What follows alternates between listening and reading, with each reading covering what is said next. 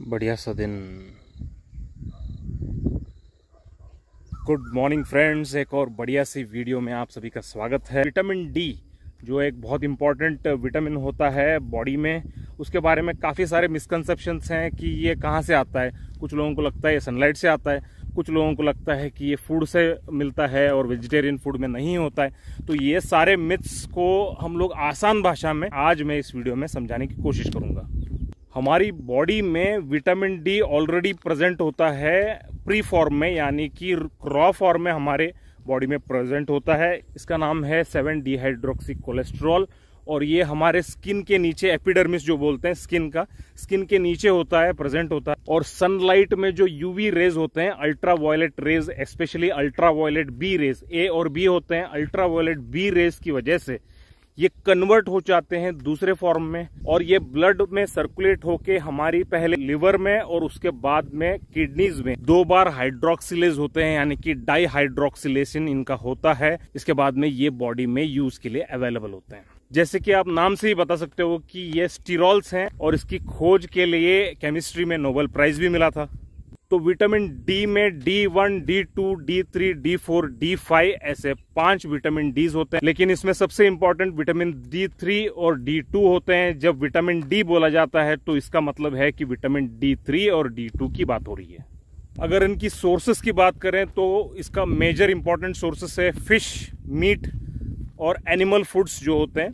तो इसका major source होता है, यानी कि जो इनके प्री फॉर्म्स होते हैं, उनकी मेजर सोर्स होती है एनिमल सोर्सेस और दूसरा इसका सोर्स होता है सप्लीमेंट्स ये सप्लीमेंट्स टैबलेट्स या मेडिकेशन फॉर्म में भी आते हैं और काफ़ी सारे प्रोडक्ट्स में जो हम लोग फ़ूड प्रोडक्ट्स होते हैं, इनमें इनको फोर्टिफाई किया जाता है. Already vitamin D three added आती है इन फूड्स में. जैसे कि बच्चों का जो सप्लीमेंट होता है सेरिलैक होता है या लैक्टोजन होता है, ये सारी चीज़ों में विटामिन डी थ्री को एडेड ऑलरेडी आता है.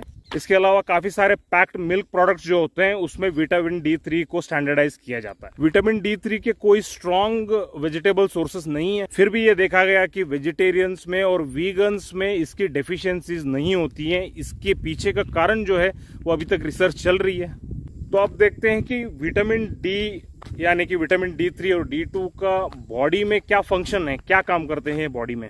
जैसे मैंने आपको कहा कि प्री फॉर्म में अवेलेबल होते हैं जो कन्वर्ट होकर विटामिन डी बनते हैं, हमारी इंटेस्टाइन में, यानी कि आंतों में जब कैल्शियम फॉस्फेट और मैग्नीज अवेलेबल होता है तो उसको अपटेक करता है। सिर्फ़ अपटेक ही नहीं, जो कैल्शियम की मेटाबॉलिज्म होती है या फिर उनकी जो साइकिल मेंटेन होती है इसके लिए भी विटामिन डी की बहुत ज़रूरत होती है।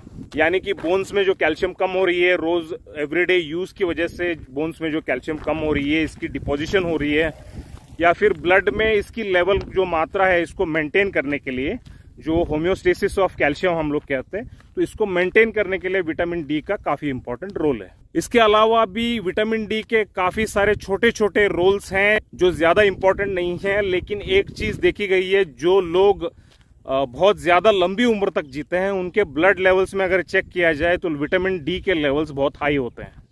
इसकी डेफिशिएंसीज काफ़ी सारे क्रोनिक डिजीजेस से लिंक किया गया है, लेकिन मेन जो इसका फ़ंक्शन है वो कैल्शियम एब्जॉर्प्शन और एसिमिलेशन से होता है और जिसकी वजह से vitamin D deficiency causes osteomalacia in adults osteomalacia एक बोन्स के रिलेटेड एक डिसऑर्डर होता है जहाँ पे बोन सॉफ्ट हो जाते हैं और डिफॉर्म्ड हो जाते हैं। तो इसको कहते हैं ऑस्टियोमलेशिया। और अगर ये बच्चों में हो तो उसे कहते हैं रिकेट्स। तो रिकेट्स एक ऐसा डिसीज है जहाँ पे विटामिन डी की डेफिशिएंसी की वजह से माल न्यूट्रिशन की वजह से और सप्लीमेंटेशन ना होने की वजह से बच्चों में बोन सॉफ्ट हो जाते हैं डिफॉर्म हो जाते हैं और इस प्रॉब्लम को कहते हैं रिकेट्स। अगर ये बड़ों में हो तो इसे कहते हैं ऑस्टियोमलेशिया। वैसे आजकल की दुनिया में ये काफ़ी रेयर होता है, लेकिन फिर भी बहुत पुअर कंट्रीज़ या जहाँ पे कोई मेडिकल केयर नहीं है, वहाँ पे ऐसे केसेस को आज भी देखा जाता है। इसके अलावा ऑस्टियोपोरोसिस यानी कि हमारी बोन की जो डेंसिटी है, जितने हार्ड वो होने चाहिए उतने हार्ड नहीं रहते सॉफ्ट हो जाते हैं विटामिन डी की डेफिशिएंसी से और कैल्शियम फॉस्फेट और मैग्नीशियम की अपटेक ना होने की वजह से, इन सारी चीज़ों की वजह से हो सकता है न्यूट्रिशनल प्रॉब्लम हो या फिर डेफिशिएंसीज हो या फिर सप्लीमेंटेशन ना होने की वजह से कुछ लोगों में ब्लड में जब विटामिन डी चेक किया जाता है या सीरम कैल्शियम लेवल अगर चेक किया जाता है तो वो लो अगर हो तो उसकी वजह से ऑस्टियोपोरोसिस होता है। पोरस मतलब उसमें डेंसिटी जितनी होनी चाहिए, उतना नहीं होते। चौक जैसे पोरस हो जाते हैं।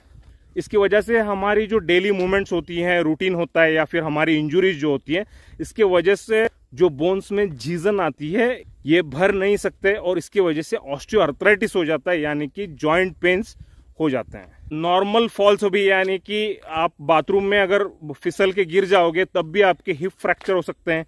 अगर आप स्पोर्ट्स में हो एथलीट हो तो आपको स्ट्रेस फ्रैक्चर होने की चांसेस ज़्यादा होती हैं। प्रेगनेंसी और लैक्टेशन में विटामिन डी कैल्शियम ये सारे जो चीज़ें हैं, इनकी रिक्वायरमेंट हाई होती है क्योंकि फिटस में जो बोन डेवलपमेंट होती है, उसके लिए ज़्यादा कैल्शियम और विटामिन डी की रिक्वायरमेंट होती है। ज़्यादातर ये देखा गया है कि जिनकी सनलाइट एक्सपोजर कम है, जो ज़्यादातर लोग इंडोर रहते हैं, हो सकते हैं हाउसवाइफ्स हों लेडीज़ हों, या फिर आपका ऑक्यूपेशन जो है वो आपको डे में बाहर जाने के लिए अलाउ नहीं करता है। या फिर जिनके जो नेचुरल सोर्सेस हैं, जैसे जो वेजिटेरियन है वीगन है, उन लोगों में कुछ डेफिशिएंसीज देखे जा सकते हैं। विटामिन डी थ्री की डेफिशिएंसी हो तो आसानी से इसको विटामिन डी सप्लीमेंटेशन से कम किया जा सकता है। Weekly sixty thousand international units यानी कि सिक्सटी थाउज़ेंड आई यू इसके टैबलेट्स या सैचेट्स आपको मिलते हैं। उसको डायरेक्टली आप वीकली एक बार यूजुअली संडेज को 12 वीक्स के लिए आपको कंटिन्यूस अगर लेंगे तो आपकी डेफिशिएंसीज ऑलमोस्ट साल भर ठीक रहेंगी, अगर आपको डेफिशिएंसी दिखाई देती है, तभी आपको इससे एडजस्ट करना है। विटामिन डी में एक चीज़ आपको याद रखना है कि कम विटामिन डी और ज़्यादा विटामिन डी यानी कि यू शेप का जो ये ग्राफ होता है, ये दोनों आपके लिए बेनिफिशियल नहीं है। विटामिन डी के ज़्यादा होने से कोई फ़ायदा देखा नहीं गया है। तो आपकी विटामिन डी की मात्रा जो है, वो आइडियल होनी चाहिए। तो ईयरली एक बार आपको ब्लड टेस्ट करवाने हैं। ईयरली ब्लड टेस्ट मैंने आपको बताए थे कि कौन से कौन से ब्लड टेस्ट आपको कौन से कौन से इंटरवल्स में आपकी एज के हिसाब से कौन से ब्लड टेस्ट करवाने हैं। ये वीडियो मैंने ऑलरेडी इस चैनल पे डाला है तो वो चेकआउट कीजिए। और ईयरली आप जो ब्लड टेस्ट करोगे तो विटामिन डी और विटामिन बी ट्वेल्व आपको चेक करना है। अगर इनकी डेफिशिएंसीज हो, तभी आपको इनको सप्लीमेंटेशन करना है। इसके साथ ही इन सारे ऐसे डिसऑर्डर्स जो बॉइंट ज्वाइंट एंड बोन डिसऑर्डर्स हो सकते हैं ऑस्टियो मलेशिया हो सकता है ऑस्टियोपोरोसिस हो सकता है विटामिन डी या कैल्शियम डेफिशिएंसीज हो सकती हैं। इसमें होम्योपैथिक मेडिसिन कैलकेरे कार्ब और कैलकेरे फॉस बहुत अच्छी तरह से काम करते हैं। होम्योकैल टैबलेट आप कहीं पे भी होम्यो स्टोर में आप पूछोगे तो आपको होम्योकैल टैबलेट मिल जाएँगे। इसके कोई साइड इफेक्ट्स नहीं होते तो ऑन अ रेगुलर बेसिस अगर एज्ड इंडिविजुअल्स हैं, उनको ये as a supplement morning evening एक एक टैबलेट दी जा सकती है। तो उम्मीद है कि इस टॉपिक के बारे में आपको बेसिक आइडिया आ गई है। सनलाइट में विटामिन डी नहीं होता, हमारे बॉडी के अंदर होता है, लेकिन सनलाइट के यूवी बी रेज जो होते हैं, वो ज़रूरी होते हैं इसको प्री फॉर्म से एक्टिव फॉर्म में कन्वर्ट करने के लिए। इसकी डेफिशिएंसी को प्रिवेंट करने के लिए आपको सनलाइट एक्सपोजर काफ़ी इंपॉर्टेंट होता है। यानी कि आपकी स्किन पे इसका एक्सपोजर होना चाहिए। आप फुल स्लीव्स या फुल्ली कवर्ड रहोगे, या फिर विंटर सीज़न में या क्लाउडी सीज़न में रेनी सीज़न में इसकी जो लेवल्स हैं वो ड्रॉप हो जाती हैं। तो इसीलिए अगर आप विटामिन डी सप्लीमेंटेशन कर रहे हो तो आपके लिए ये एडवाइजेबल है कि आप उसको रेनी सीज़न में आप उसको कंज्यूम करो। ये वीडियो पसंद आए तो लाइक शेयर सब्सक्राइब कीजिए। आपके इस टॉपिक के बारे में जो व्यूज़ हैं, इसे कमेंट कीजिए। तो मिलते हैं कल एक और ऐसी बढ़िया सी वीडियो में। तब तक के लिए अलविदा।